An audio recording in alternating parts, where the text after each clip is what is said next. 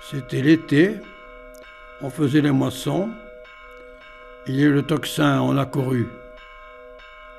Et puis le gendarme a crié la nouvelle de sa grosse voix. C'était il y a bien longtemps, le 1er août 1914. Mon père a été mobilisé, comme tout le monde au village.